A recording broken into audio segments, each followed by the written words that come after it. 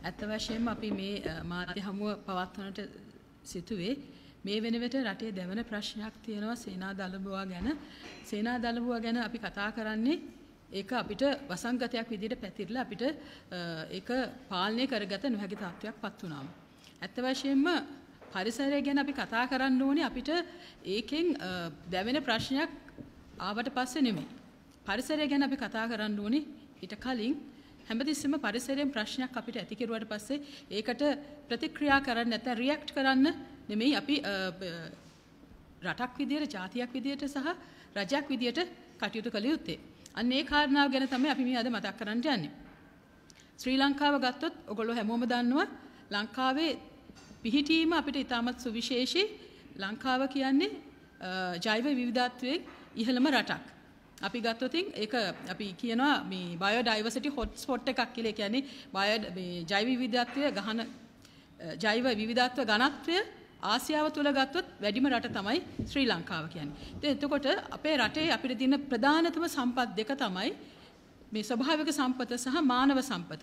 මම හිතන්නේ අපි ඊටමත් අඩුවෙන්ම කල්පනාකරණය කරන්නේත් මෙන්න මේ සම්පත් දෙක කියලා මම හිතනවා. ඉතින් ඒක නිසා තමයි වියත්මග වගේ වෘත්තීය සංවිධාන විදිහට අපි එකතු වෙලා මෙන්න මේ විදිහට කළමනාකරණය කර යුතු නිවැරදි නිවැරදි ක්‍රමවේදය සහ ඒ ඒවාට ගැලපෙන ප්‍රතිපත්ති සහ ක්‍රමවේදයන් සකස් කරන්නට කටයුතු කරමින් සිටින්නේ. පරිසරය පිළිබඳ ප්‍රතිපත්ති ගැන අපි කතා කරුවම අපි දන්නවා ලංකාවේ පරිසරය හා සම්බන්ධ යම් කිසි සම්බන්ධයක් තියෙන ප්‍රතිපත්ති අපි ලැයිස්තුගත කෙරුවොතින් 40කට කිට්ටු ප්‍රමාණයක් තියෙන ප්‍රතිපත්ති. ඊට පස්සේ ගත්තොත් පරිසරය සම්බන්ධ නීති රීති ගත්තොත් ශ්‍රී ලංකාවේ තියෙන ප්‍රධානතම නීතිය තමයි පරිසර ආරක්ෂණයට ජාතික පාරිසරික පනත.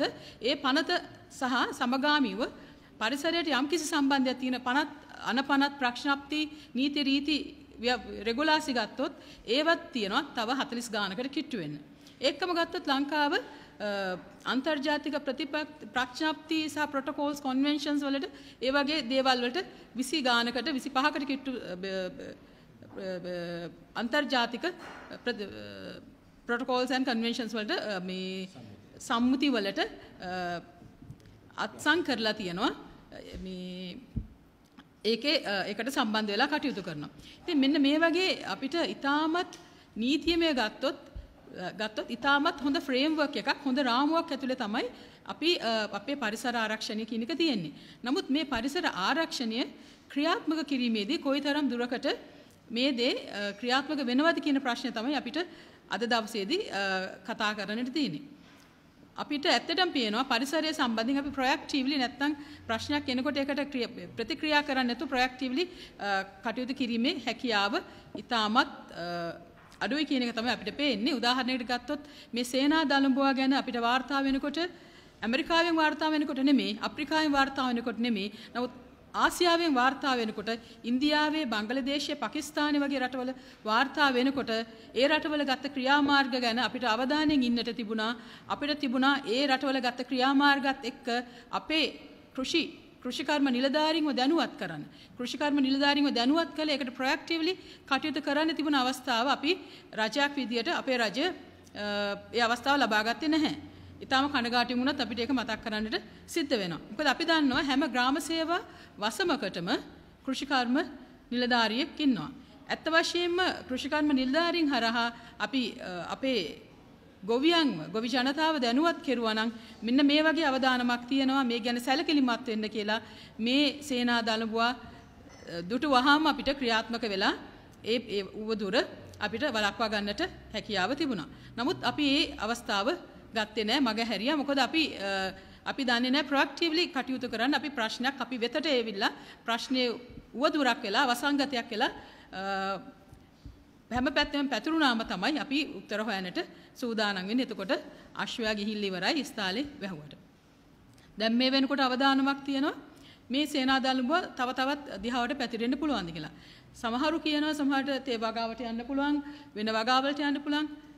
තව අවදානමක් සමහරු කතා කරනවා සමහරට මේක ස්වභාවික පරිසර පද්ධති වලට රින්ගන්න පුළුවන්ද අපිට වගාවක් නම් පුළුවන් ඕනනම් ගිනි තියන්න. නමුත් ස්වභාවික පරිසර පද්ධතියකට පද්ධතියකට ගියාම අපි මොකද කරන්නේ? මෙන්න මේ වගේ ඊටාම සංකීර්ණ තැනකට ගැටලුව එනකන් අපි මේ ප්‍රශ්නෙට මේ මුහුණ දෙන්නට සූදානම් වෙලා හිටියේ නැහැ. ඉතින් අන්න මේ වගේ තත්ත්වයන් නිසා තමයි අපි හිතුවේ ව්‍යාත්මක විදියට අපි පරිසරික ප්‍රතිපත්තිය කියන එක ඉතාමත් වැදගත් දෙයක් විදියට රටට සලකලා පාරිසරික ප්‍රතිපත්ති මුල ඉඳලා අගටම ක්‍රමානුකූලව අධ්‍යයනය කරලා එහි තියෙන අඩුපාඩු සහ රිංගා යන්න පුළුවන් තැන් අපි දන්නා නීතිය නීතිය හොඳ රාමුවක් තිබ්බට ගොඩක්ලා නීතිය රිංගා යන්න පුළුවන් තැන් හොයාගන්න ශ්‍රී ලාංකික අපි හරිම දක්ෂයි කියලා. ඒතර ඒ වගේ තැන් ඔක්කොම වැටකොටු අහුරලා වැටකොටු බැඳලා ඒ රිංගල යන්න පුළුවන් තැන් අහුරලා කොහොමද හොඳ පාරිසරික ප්‍රතිපත්තියක් පාරිසරික නීති සහ පාරිසරික ක්‍රමෝපායන් මේ රට තුළ ස්ථාපනය කරන්න කියන දේ අපි මුල ඉඳලා මේ වෙනකොට සෑහෙන කාලයක් තිස්සේ අධ්‍යයනය කරමින් ඇවිල්ලා තියෙනවා. ඇත්ත වශයෙන්ම ගත්තොත් මම කලින් කිව්වා වගේ අපේ රටේ පිහිටීම නිසා නිවර්තන කලාපයේ අපේ රටේ පිහිටීම ඉන් පස්සේ ගත්තම අපි දූපතක් වීම ඒ වගේ දේවල් මුළු අවුරුද්ද පුලාම අපිට ඉරේලිය වැටීම මේ වගේ දේවල් එක්ක අපිට තියෙනවා ලෝකයේ කිසිම කෙනෙකුට නැති සම්පත් විශාල ප්‍රමාණයක් අපි පාවිච්චියට නොගන්නා. මෙන්න මේ සම්පත් ප්‍රමාණය පාවිච්චියට ගන්න මට කලින් කතා කරපු අපේ සහෝදර සමාජික දෙපළ කිව්වා වගේම තිරසාර සංවර්ධනයකට ඉස්සරහට ශ්‍රී ලංකාව කොහොමද අපි ගමන් කරන්නේ තිරසාර සංවර්ධනයක අපි කොහොමද ලංකාව පොසිෂන් කරන්නේ කියන එක තමයි අපි මේ වෙලාවේදී සලකා බලන්නේ. මොකද තිරසාර සංවර්ධනය කිව්වම අපිට එක්සත් ජාතීන්ගේ සහ විදේශ රටවලින් බටහිරින් එනවා තිරසාර සංවර්ධන සංකල්ප ගොඩාරියක්. ඒ ඒ හා සමගාවීම අපි දන්න තිරසාර සංකල්ප බොහොමයක් අපේ දේශීයව අපේ පාරම්පරිකව අපි අපේ රට තුලත් තියෙනවා කියලා. උදාහරණයකට ගත්තොත් අපි දැන් ඇමරිකාවෙන් නැත්නම් බටහිරින් අපි කතා කරනවා responsible responsible officer doctrine එහෙම නැත්නම් doctrine of trustee කියලා කියන්නේ බාරකාරත්වයේ මූලධර්මය බාරකාරත්වයේ මූලධර්මය ලෝකයේ ඉස්සෙල්ලම ලිඛිතව සාක්ෂියක් තියෙන්නේ දේවානම් පීතිස්ස රජතුමාට මිහිඳු හාමුදුරුවෝ කිව්ව ගාථාවෙන් ඒ ගාථාවේදී දේවානම් පීතිස්ස රජතුමාට මිහිඳු හාමුදුරුවෝ කියනවා මිහිඳු මහරහතන් වහන්සේ දේශනා කරනවා මහරජ ඔබ මේ භූමියේ පාලකයා ඔබ මේ භූමියේ බාරකරු පමණි අයිතිකරු නොමේ ඔබට තියෙන ඔබට තියෙන අයිතිය සමාන අයිතියක් මේ භූමිය බඩගාගෙන යන උරගයාටත් අහසේ බියාවන පක්ෂයාටත් තියෙනවා කියලා. මෙන්න මේ සංකල්පය තමයි අද වෙනකොට අපිට මේ ඩොක්ට්‍රීන් of ට්‍රස්ටී කියලා ආපහු උගන්වන්නේ. ඒකම ගත්තම මේ තිරසාර සංකල්පවල තියෙන තව වැදගත් දෙයක් තමයි අපි කියනවා සස්ටේනබල් කන්සියුමරිසම් එහෙම නැත්නම් තිරසාර පරිභෝජනය. මොකද අපි ගොඩක් වෙලාට දන්නවා දැන් මේ ලංකාවේ අද අපේ රටේ තියෙන බලපතල ප්‍රශ්නයක් තමයි අපද්‍රව්‍ය කළමනාකරණය. අපද්‍රව්‍ය කළමනාකරණය කරන්න මූලික හේතුව වෙන්නේ අපි තිරසාර නොවන ක්‍රමවිදියකට අපි පරිභෝජනය කිරීම.